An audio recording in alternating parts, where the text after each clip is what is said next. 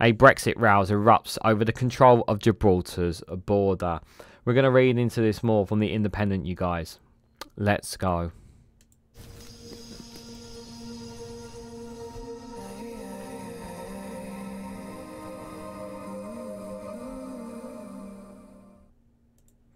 Good morning, good afternoon, good evening, wherever you are in the world. This is Regan Elite here with an article from The Independent with the headline of the Brexit rouse erupts over the control of Gibraltar's border.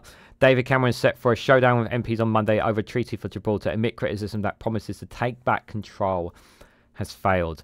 Guys, while you're here, make sure you hit the like button and share this across social media so others are notified of this video. So just a quick caveat there. Obviously, uh, by the time you see this video, he will have that showdown with MPs, and obviously we'll might have we'll have more details. Obviously, following on, we may have an additional video following on from this with regards to Gibraltar. So one of the it's the, the issue around Gibraltar has never gone away with Spain. The long-standing thing is is that it belongs to Spain. They want the land back pretty much. It's, it's just the, the context of the history going as far back as 1718. Um, and it is something that they, they, they generally want to. Now, Brexit has kind of exacerbated it because obviously, because we're now no longer part of the EU, we're kind of deemed a third world country. So it's created this issue, obviously, about British citizens obviously living in Gibraltar. And that's kind of created, uh, uh and then there's obviously the buffer zone between that and Spain you can kind of see where the issue is here.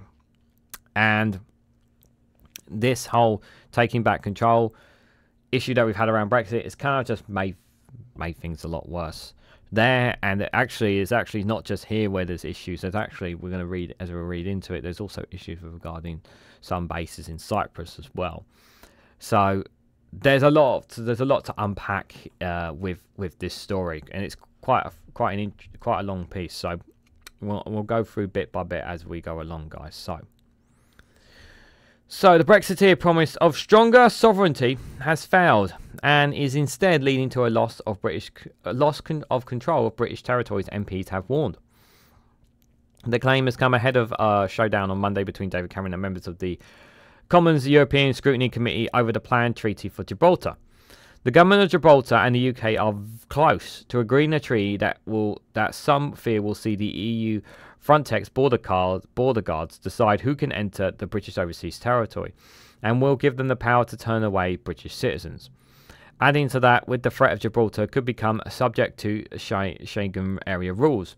There are now concerns that UK citizens will only be allowed to stay for 90 days on the rocks, even though it's a British overseas territory.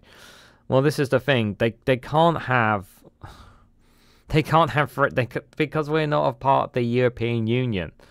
This is the problem as well.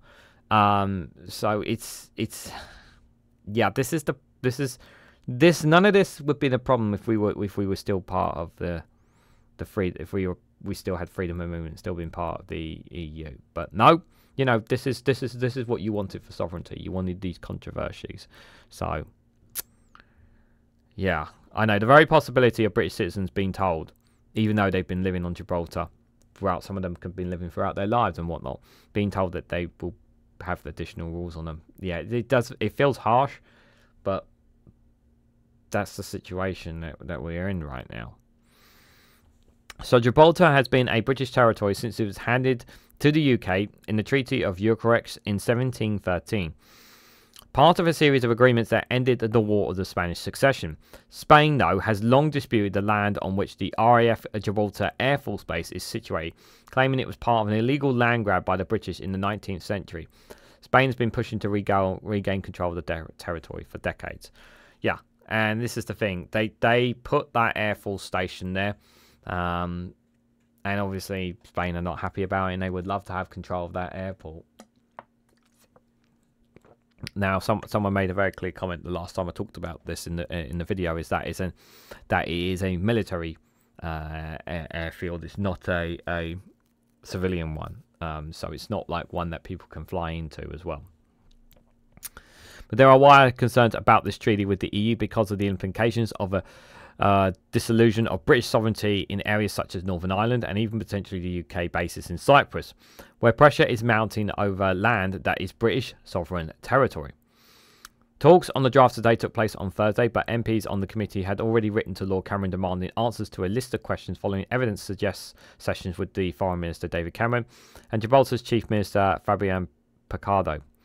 The DUP committee member Sammy Wilson, who supported Brexit, told The Independent Brexit was supposed to be taking back control. It is proven to be the opposite.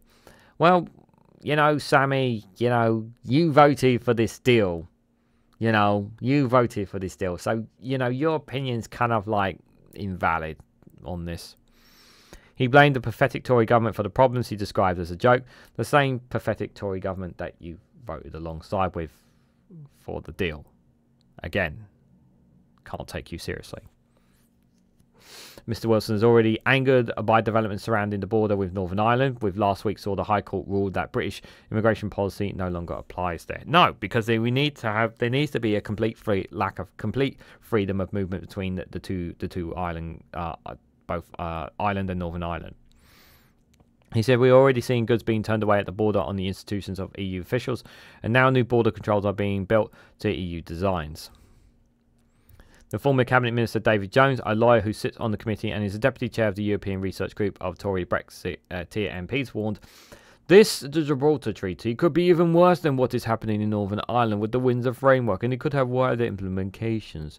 This will cause serious ructions in the Conservative Party if Cameron allows it to go ahead. Well, the problem is, is like, what is he supposed to do? His kind of hands are a little bit tied as well, though. The Foreign Secretary was dismissed by some MPs as a globalist who led the Remain campaign, who doesn't really care about British sovereignty anyway. What, what is British sovereignty? I just don't get this reference. However, former Attorney General Dominic Greaves, who opposed Brexit when he was an MP, suggests that Brexiteer MPs had jumped the gun, as nobody outside negotiations has seen the text. He said there is nothing to suggest that the uh, that, that the UK is about to surrender sovereignty over anything, but the idea that Brexiteers can be more Gibraltar than the Gibraltarians seems uh, seems to me to be completely ludicrous. Yeah, this is the thing. Like, since when did Brexiteers start caring about Gibraltar? You know, did they when when they, this deal was coming through? Did they think about them at all? Did they think about the consequences of Northern Ireland when they come through? No, of course they bloody didn't.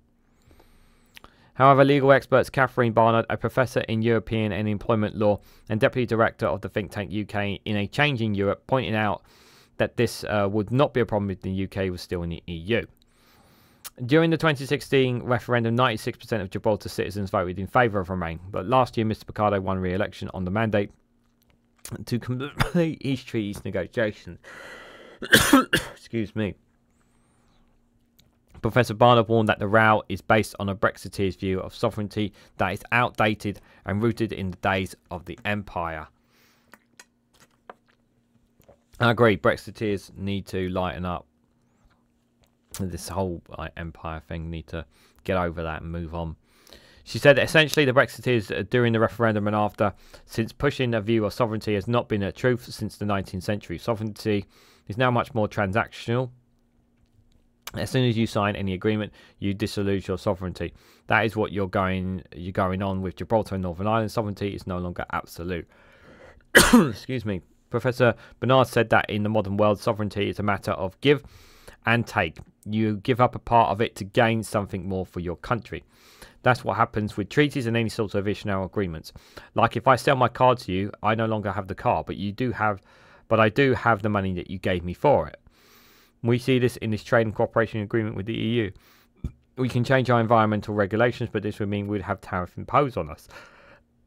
She added that the issue of completing sovereignties could be another potential point of contention between the UK and Gibraltar. The Foreign Commonwealth and Depart- Depart- Development Office, the FCDO, insisted that the concerns being raised will be resolved before a treaty is signed. An FCDO spokesperson said the UK will only reach an agreement with the EU that the government of Gibraltar is content with. The safeguards Gibraltar's sovereignty and that fully protects the operations and independence of the UK's military facilities in Gibraltar. The UK remains fully committed uh, to finding a resolution that supports Gibraltar, its people, and its economy. Last week's talks were understood to have taken place in a constructive atmosphere, leading to an important uh, breakdowns in, in additional areas of agreement. Hmm. Mr. Picardo, who has been criticised by the committee, said earlier last week if they, the treaty provision, did amount of genuine dissolution of British sovereignty over Gibraltar, they would not have my support. This is a deal that will assist us in ensuring that Gibraltar's sovereignty continues to be 100% British. They need to understand that this uh, is a deal that needs to be done for Gibraltar and its people of Gibraltar that will determine whether it is safe and secure. However, the concerns raised by MPs uh, deemed to be confirmed in a interview with Mr. Cardo on Radio 4's Today program on Saturday, he said that the basis of the framework was the 2020 New Year's Eve uh, agreement involving Gibraltar becoming part of the Commons travel area with uh, Schengen. He noted that this is necessary because there are around 15 million uh, movements a year across that border with the EU because there is a need for freedom of movement for goods between the territory and the EU. Mr. Picardo pointed out that 96% of Gibraltarians have voted Remain, adding, When we were European citizens, we had the right to access the EU. It was relatively easy. He he was dismissive of the row with Brexiteers on the Committee over UK Sovereignty, saying, That is a question of which filter you apply to your view. I mean, 96% of the people of Gibraltar who voted to remain in the EU did not think being members of an EU amounted to surrendering to a surrender of sovereignty. He also made it clear that he believes that his election victory last year gave him a mandate to press ahead with the deal. He said the people of Gibraltar effectively voted for the framework to become a treaty between the UK and the EU. Yeah. He he was voted in, so he, he's in charge. Of, he he made he's in charge of that country. So Brexiteers yeah, just need to kind of shut up, really, if I'm honest about it, because you know we we we we don't we we don't know what the what what the people of Gibraltar want, and then uh, uh, in turn, unless you actually go down there and literally speak to them individually. But they, but what we do know is, is that the majority of people there wanted to remain in the EU. They wanted to be, they wanted to have that freedom of movement, and they don't want that affected in any way, shape, or form. And that's exactly what's happened as a result of us leaving the single market and customs union. And while once again, people here on this island don't seem to really give a two monkeys about it. Um, that's the situation that they are in, and that's what this is row is about. So when people keep saying Brexit is done, and again, another issue here where Brexit is not done and it's an issue and it needs to be addressed. And how it gets addressed, obviously, I'm sure the more details will come as time passes on. But um, their their issues need to be addressed, and hopefully they will be addressed uh, soon. But um, hopefully David Cameron will make sure it is the right deal, not just for the people of Gibraltar, but for the but not just for Gibraltar and its people, but also for uh, hopefully within the benefit of Spain and the EU as well. A satisfactory deal that can be reached hopefully in due course uh, for everyone's sake. But what do you guys make of this Brexit row? What do you make of Brexiteers uh, crying? Crying sovereignty um, over something that they didn't really care too much about when the Brexit deal was negotiated, or or with regards to the deal that that the, that was signed uh, as well, with the effects that it would have on Northern Ireland as well. What do you guys make about uh, Gibraltar's position?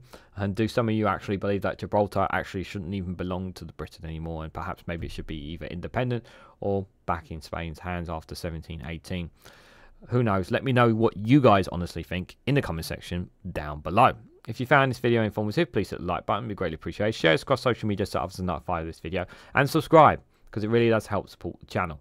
And if you want to go one step further, financially support me and the work that I do here, you can do so by becoming a YouTube member for as little as 99p. Or join me on Rumble, or Patreon, or Facebook for exclusive content on those platforms. Thank you all so much for watching, and I hope to catch you all very, very soon.